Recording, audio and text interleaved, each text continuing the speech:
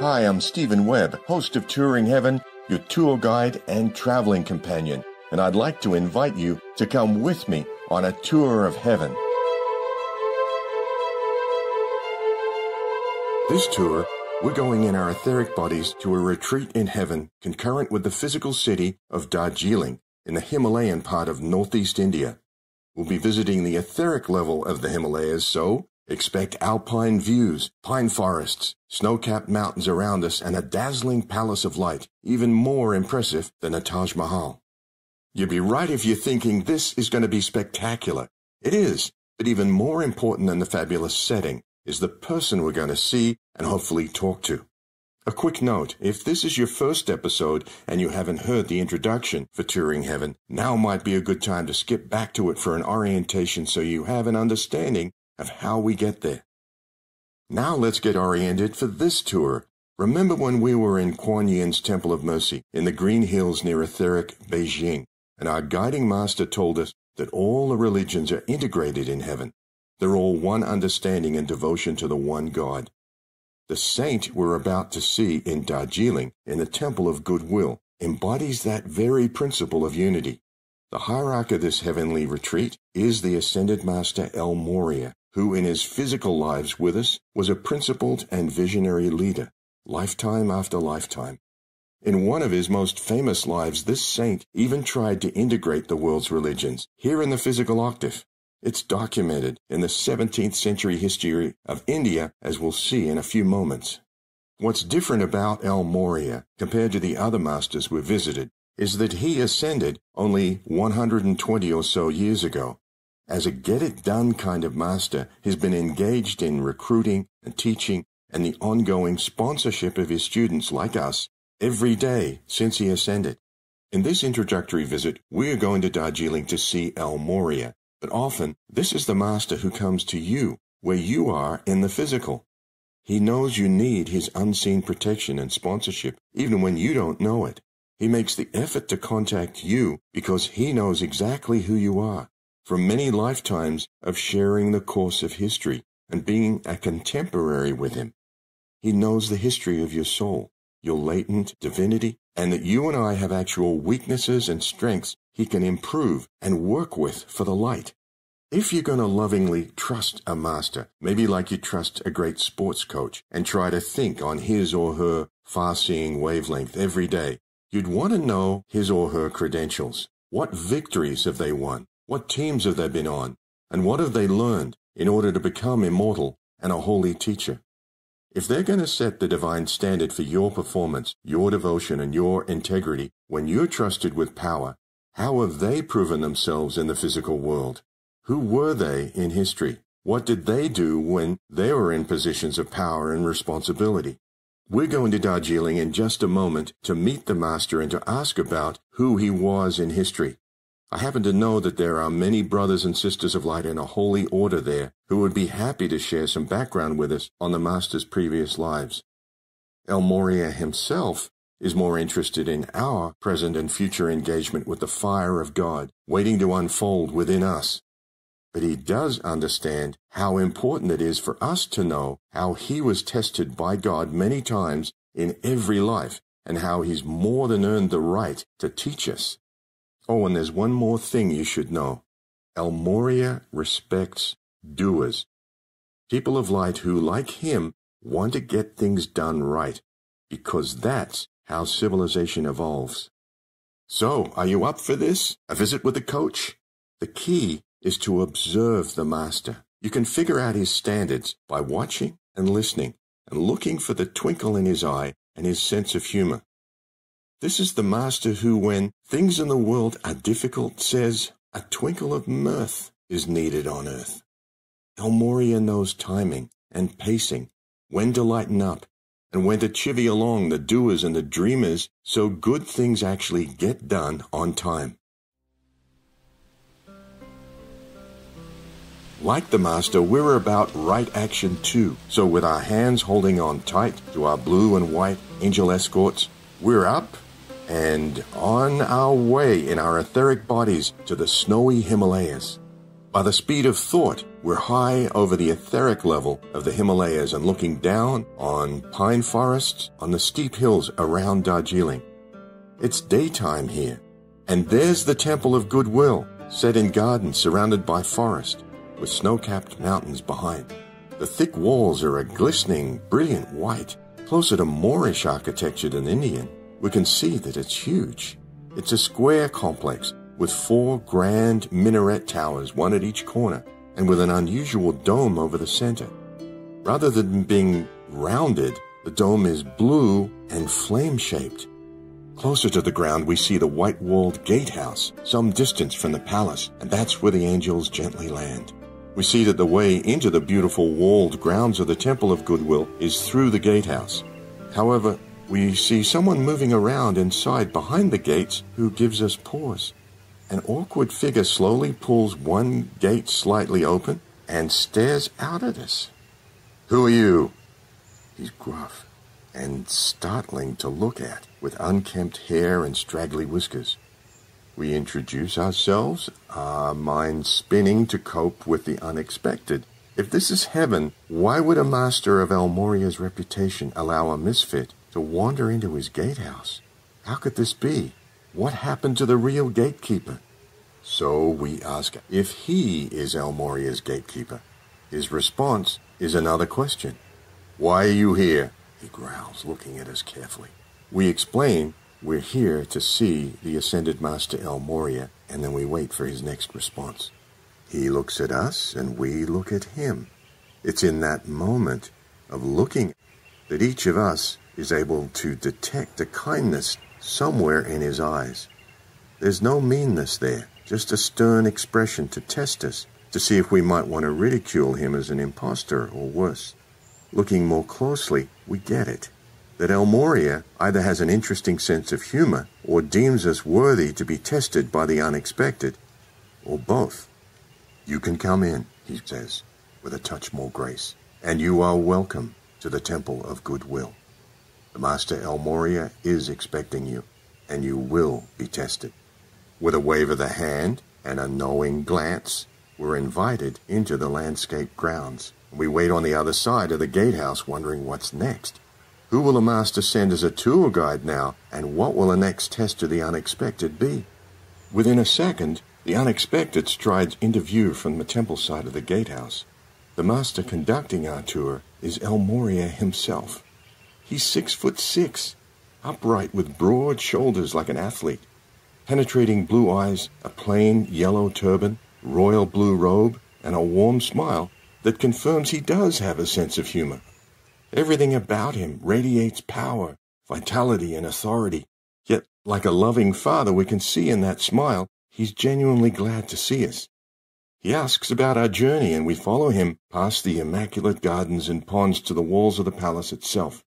They're massive, like a medieval castle, but glowing white in daylight with the same superluminous appearance we've seen in the other retreats.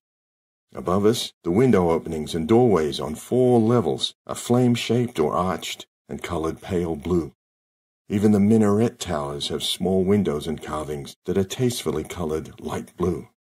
The architecture is grand and magnificent, but our eyes and feelings are drawn more to the Master himself, walking next to us. It feels familiar to be close to him as a father figure, and that we've been here before, but like in a dream a long, long time ago. We also remember that we're in the company of a holy man who's been a saint more than once and a standard setter of integrity in our world many times over. He invites us up the grand marble stairway and into the brightly lit foyer Ahead of us is the entrance to a large, elegantly furnished auditorium, which he, El Morya, describes as the meeting place for the leadership of the spiritual government of earth.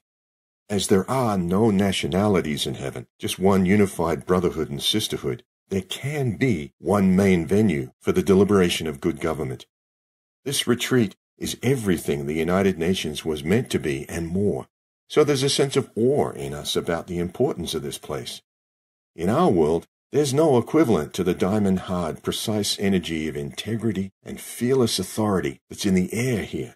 The unseen corruption in our world could never occur in this holy place. As we walk to the edge of the platform in the currently empty auditorium, we're walking the same marble floor where the real spiritual leadership of Earth has walked and will walk in the next few days. What's even more interesting, El Morya explains, is that it's not only ascended masters who attend these deliberations. Actual worldly leaders, politicians, administrators, policy experts, economists, intelligence, and military hierarchy are selectively invited to these meetings in their etheric bodies. They arrive in their etheric bodies with Blue Angel escorts like we do. But think about that term, selectively invited.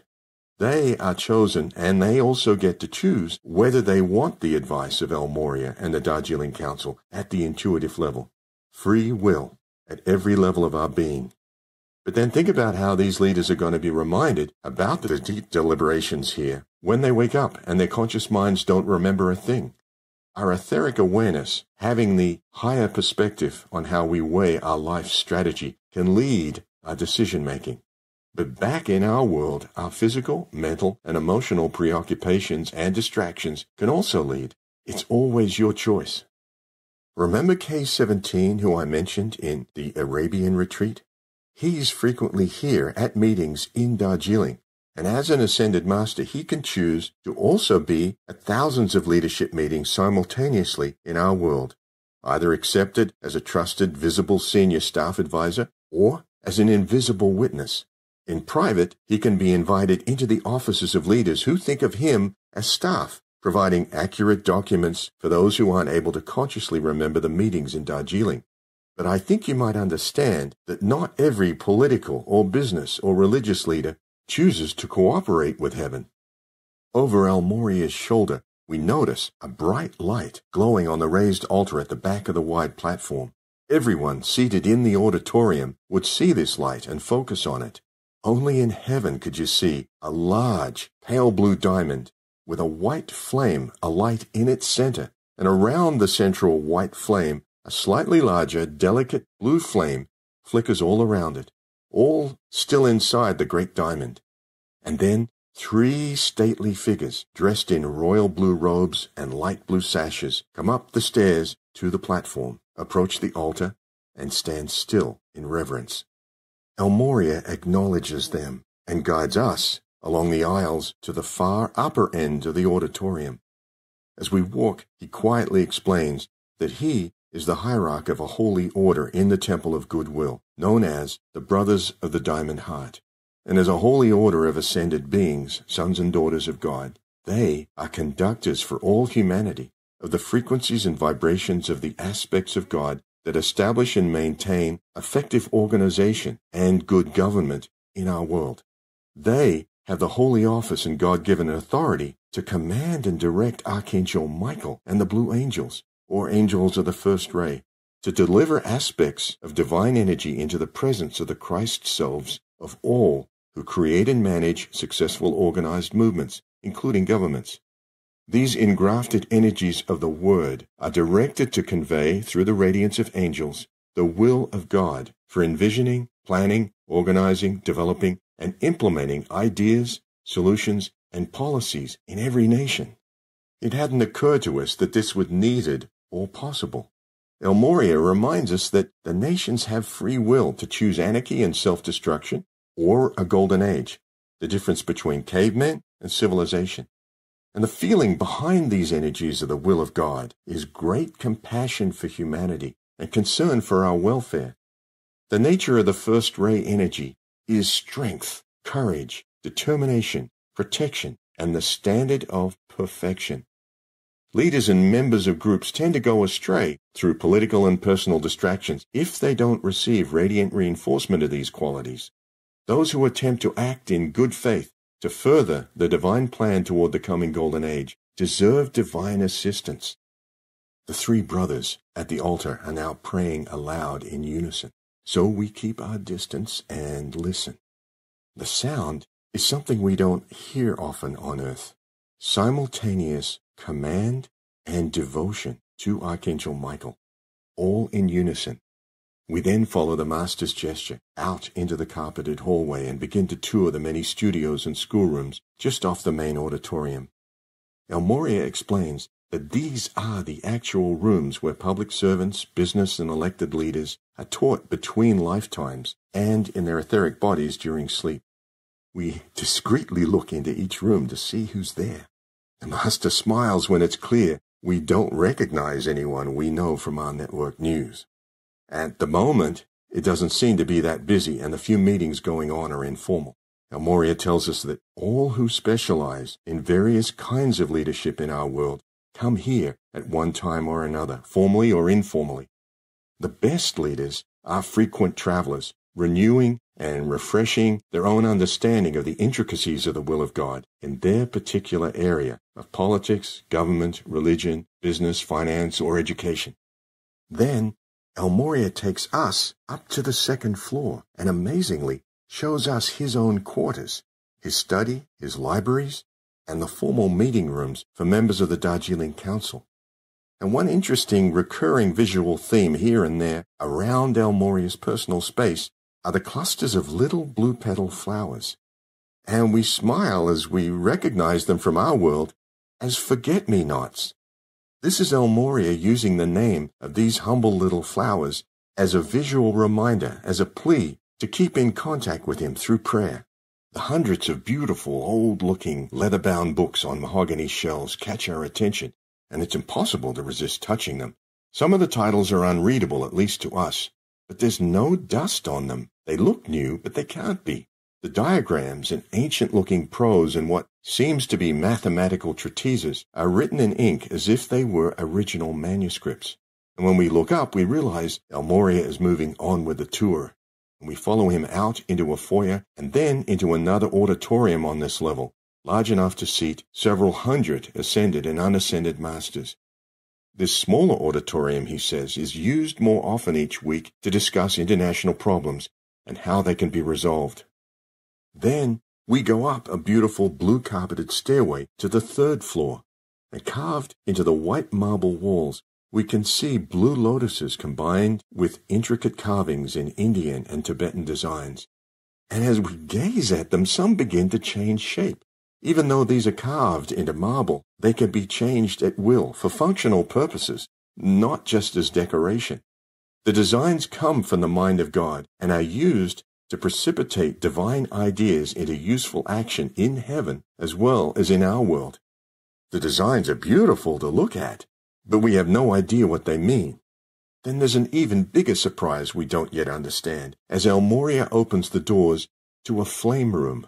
The vibration here is an intense, even pulsation, even greater than the diamond flame in the main auditorium. Here, the walls are a sparkling, iridescent white, while the floor and ceiling are royal blue.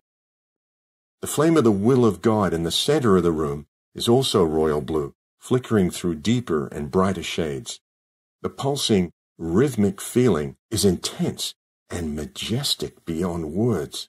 Beneath the flame itself, we can see, inlaid into the floor, a mosaic of divine geometry, also beyond our understanding.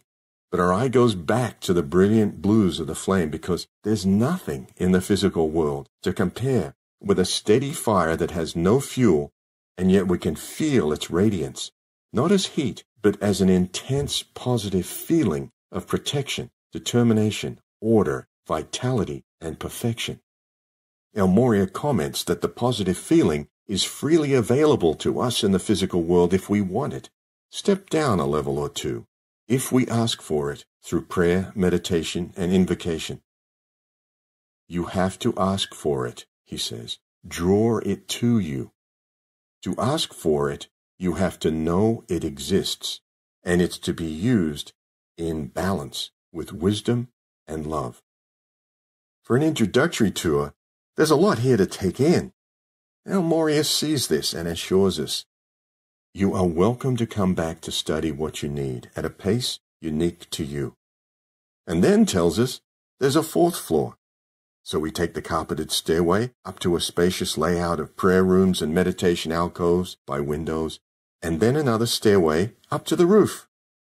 In the bright sunlight, we shade our eyes from the reflection of myriad iridescent tiles covering the enormous blue flame-shaped dome above us. At the far end of the roof, we tour an astronomical observatory and look out on the magnificent view of the gardens and forests and snow-covered mountains. Even with our hands resting on the marble balustrade on the roof, we're still pulsing in rhythm with the royal blue flame on the third floor. It's embedded in us, as if we're going to retain that powerful feeling forever as part of our own pulse. But we'd like to know more about El Morya himself.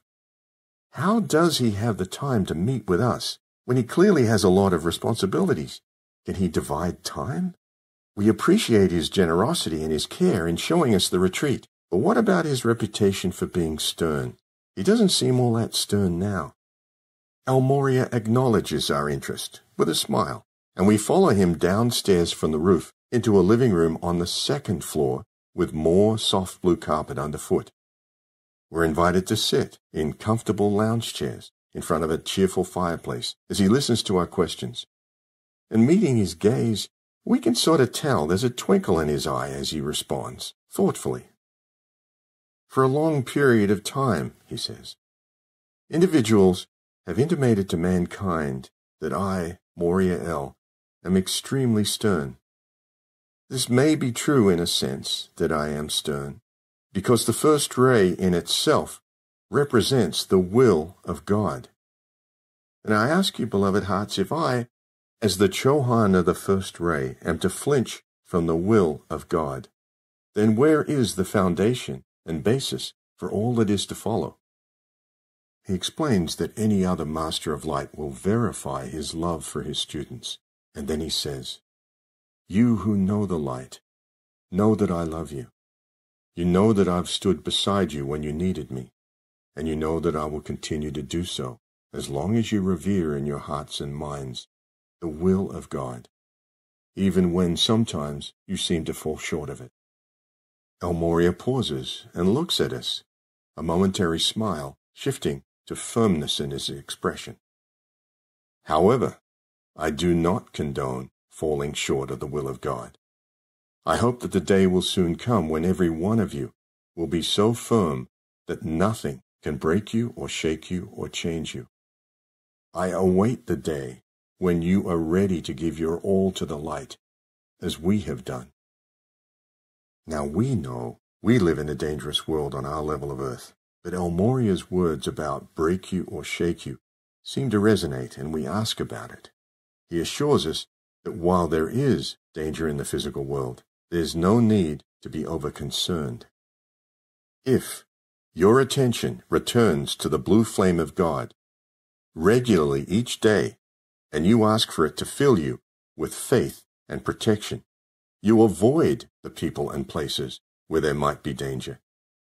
The intensity of the heaven world interpenetrates your world when you ask for it. Then El Morya stands and asks us to rise and to accompany him to the back of the main auditorium on the first floor. We hear the swelling sounds of beautiful, powerful music before we even get to the doorway.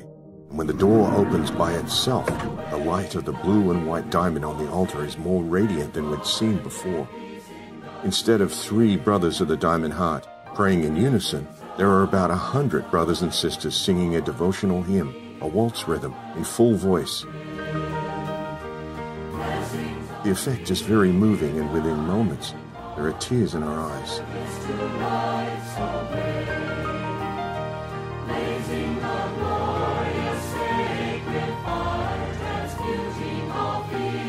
The words about a diamond heart are in English, but being there is more about absorbing the soaring feeling of strength rather than understanding every word.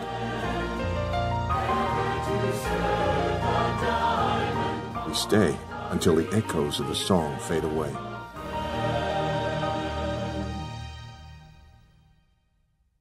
In silence, the master ushers us out of the auditorium, and as we walk toward the main foyer and onto the grand stairway outside, he explains the ceremony we had witnessed.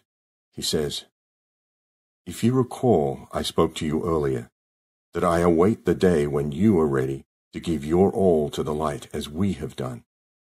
There are those on earth who have, over many lifetimes, made themselves ready. you witnessed the end of a ceremony which was to add impetus, the engrafted word, to the being of those who stand for the light in your world. The intensity of heaven interpenetrates earth on request. If you were to meet those of whom I speak, you would not recognize them by their appearance, but by their works. Just then, two sisters of the Order of the Diamond Heart appear on either side of El Morya. The master bows to us, smiles, and excuses himself to take care of the business of heaven somewhere else in the retreat. The sisters, in their blue robes, introduce themselves and ask if we're keeping up with the master's answers to our questions. They're impressive, regal ladies, to eh, say the least, each having an upright bearing, yet they're friendly and informal to us. They invite us to walk along the broad pathway through the fragrant gardens, and we find, as impressive as they are to look at, they're actually comforting to be with, like El Morya. Where are the ladies like this on our level of earth, you wonder? But then, more important questions come back to mind, like, what were El Morya's previous lives that he so modestly declined to tell us about? The sisters smile, and with a glance decide which of them will begin to explain while we walk. We are permitted to describe only a few of El Morya's past lives, the blue-eyed sister says. Some of them without personal names, such as the master mason who built the great pyramids of Giza in the prehistory of Egypt. Within these known lives, the soul of El Morya was trusted with power and a lot of responsibility for people's lives. A good example was his life around 2100 BC as the Old Testament leader Abraham, a friend of God, a pioneer trusted as the original father figure for the lineage of Jews, Christians, and Muslims. God told Abraham that through him, God would make a great nation that would be a blessing to the world. And then in a seeming paradox, God directed Abraham to sacrifice his son Isaac. And when Abraham proved he was unflinching in his faith and obedience, God, through an angel, directed him at the last second not to harm the boy. So someone who is trusted with great long-term power has the right and the need to be tested in faith and obedience to God. The taller sister with brown eyes then follows on with the chronological thread of El Morya's lives. In a subsequent life, she begins as we walk under flowering trees. El Morya was one of the early influences of Athenian democracy in ancient Greece. Following that life, he was the Zoroastrian Persian king Melchior, one of the three wise men who from a great distance anticipated Jesus' birth, brought carefully considered gifts to him in Bethlehem, and wisely didn't tell King Herod where the infant was. Then, several centuries later, around 450 AD, she continues. I can tell you that the soul of El Morya was embodied as King Arthur in post-Roman Britain, entrusted with the most powerful military in Britain at the time, as well as the inner Christian mystery of the Holy Grail. The Grail mystery is more than the symbolic cup. It's the quest to balance the God-given threefold flame in the cup of the etheric heart through service. The testing of power and principle for King Arthur was not only to win twelve battles against outer enemy kings, but to exercise discernment of spirits and not discount the enemy within the palace. Within Camelot, there were trusted relatives and dependents who were actually practitioners of black magic and witchcraft, manipulators of rumors, lies, and intrigue. These betrayers, by their wilful gossip, eventually destroyed Camelot. For Arthur, outward military strength was not enough. Identifying and expelling the enemy from within was the hard lesson and principle learned. This was a bit surprising for us to hear that El Morya in that life had not been perfect and had been at the center of, in effect, the school of hard knocks. The sisters apparently discern that we need time to think about this, and after a few moments, we want to know what happened next. Well, if we follow the timeline of both history and testing, the first sister says, picking up the thread. From 1118 to 1170, El Morya was embodied as Thomas Becket, the friend of the English king, Henry II. Becket advised the king on principle not to reward him with two conflicting high offices, Lord Chancellor of England and Archbishop of Canterbury. King Henry II expected Becket to make a convenience of the two offices, mixing and breaking the laws of church and state whenever needed. And when Becket repeatedly refused to compromise the laws of England, the king shouted, Will no one rid me of this troublesome priest? Four knights took the king seriously and murdered Becket at his altar in Canterbury. In the following months, hundreds of miracles occurred across England, attributed to the soul of Saint Thomas Becket. We keep going, she continues, and around 1320 to 1390, the same holy soul embodied in Russia as another saint, Saint Sergius, a humble monk living in the pine forests who was recognized by a Christian bishop as a healer and holy man at a time when Russia was dominated by Tatar rulers, descendants of Genghis Khan. By 1380, aged 60, Sergius was well known in Russia as a holy sage. He advised and blessed a young Moscow prince, Dmitry Donskoy, before a great battle against the Tatars at Kulikovo. The 60,000 Russians were outnumbered by more than two to one, but won the battle with timing and tactics. This victory became the beginning of the hard-won sovereignty of Russia, and St. Sergius is still known as the patron saint of Russia. If only the Russians knew they could visit him at night here in Darjeeling. I can add that the path didn't simply conclude in sainthood or patronage for one country, the tall sister offers. The testings of God for El Morya were relentless. We know from the Akashic records of God three centuries later, from 1478 to 1535, he was back in England as a lawyer and administrator for the crown. He was Sir Thomas More. Again he held the highest offices in England to help guide his dangerous friend whose soul was now re-embodied as King Henry VIII. King Henry VIII repeated similar expectations of compromise from More concerning the laws of church and state as Henry II had. This was the repetition of the same test Henry II had failed 365 years earlier. Sir Thomas More was determined to pass the tests of integrity, selflessness, and non-retaliation. Henry VIII wanted to divorce and remarry and create a separate church under his own control. Sir Thomas More courteously refused to support his lawless monarch, again on principle, and this time the king used the courts to secure his beheading. Sir Thomas More's last words on the scaffold were, I die the king's good servant, but God's first. For us, this takes a moment to sink in, to contemplate the sacrifice of a life for a principle of integrity we have to slow down and stop. We ask, in that life, Thomas More passed his tests, but the soul of Henry didn't. For the second time? That's right, the first sister answers. Let's keep walking. Then we're not talking centuries, just seven years later, by your time, in 1542, the same soul of El Morya, undeterred by the difficult end to that life in England, was reborn in India as the son of the Muslim emperor.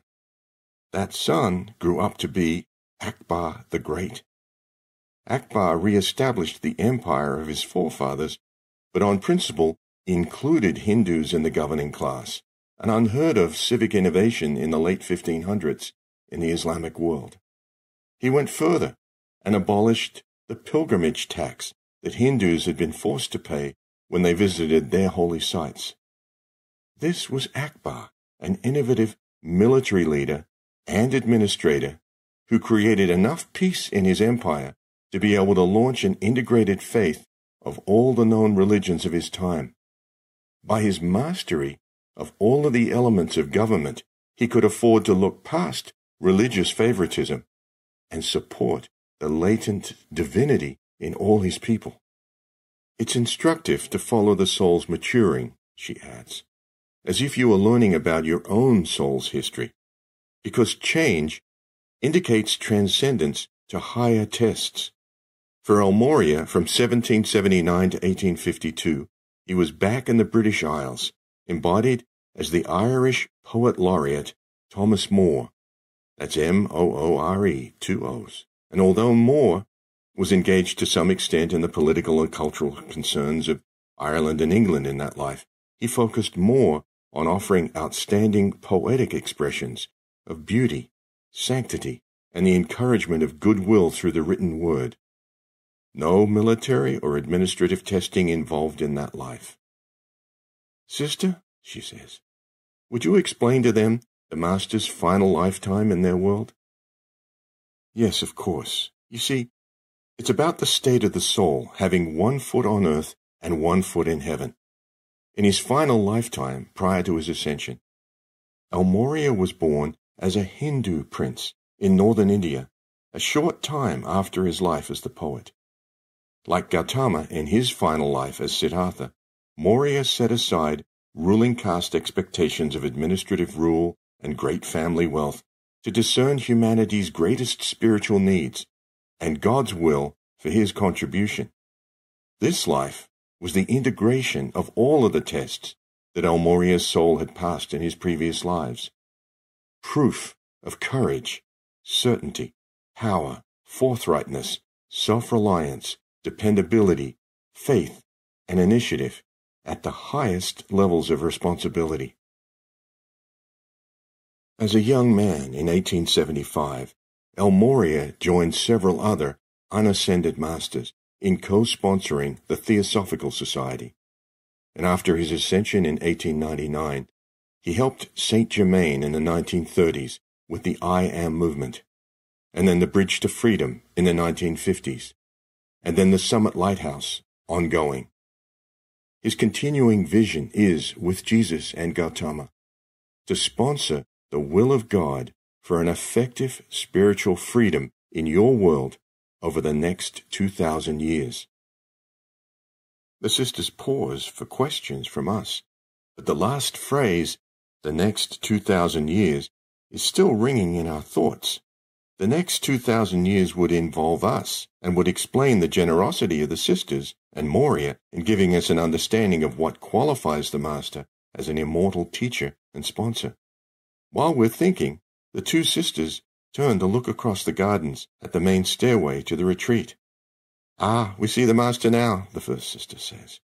I think he may want to invite each of you to visit us again. And moments later, the master does exactly that, drawing us closer around him. You are welcome, he says, to come to our Palace of Light here in Darjeeling, while your body is asleep safely in your homes, as often as you want Come to our fireside, warm yourselves, and partake of our Holy Communion at the altar. You have your path to God as we have here. Ours is to show you what is possible. Yours is to choose what you will do with the life you have. El Morya looks up as our escorting angels appear as a bright flurry of blue and white auras over the nearby lawns. He smiles and noticeably doesn't say goodbye, but von dir, as if he's expecting he'll be seeing us in a few days. It's apparent he has confidence in us that we'll retain some of the intensity of the blue flame from the main altar when our conscious mind wonders about an unclear dream in the morning. An instant later we rise into the air, holding onto the strong shoulder of our angel, pondering what our past lives have been like. What does he see in us, we wonder? that he would take the time to encourage us and to say we're welcome to come back any time we want. Who are we? There's a pattern of trust, faith, and generosity that we've noticed in each of the masters we've visited. We've heard often enough that we should have faith in God. Our experience in these retreats shows us that God, personified in his sons and daughters, seems to have amazing faith in us. It's that thought that there's something worthwhile in us, and we are in our own way like Abraham over 4,000 years ago, putting his life and family into motion across the desert because God told him, possibly in one of the retreats, Get out of your country and from your kindred and from your father's house to a land that I will show you. The soul of El Morya has been through thousands of those new beginnings, the path through the wilderness, the unexplained mission, the testing, life after life.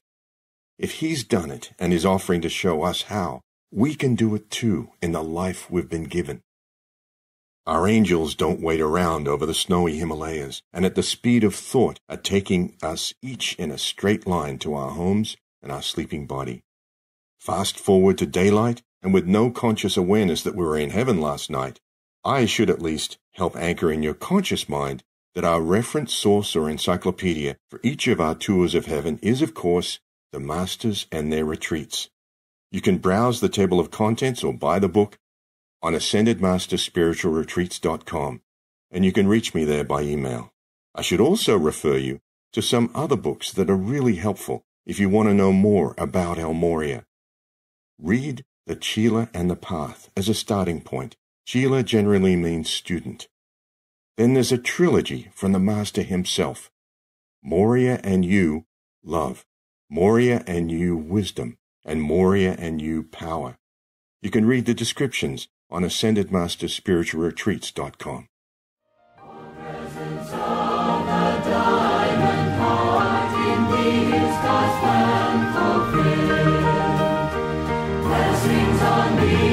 Next tour, we're back in a different part of the vast Royal Teton Retreat in Wyoming to visit Confucius teacher Lanto, the Master of Wisdom. You've heard the word, but what is wisdom?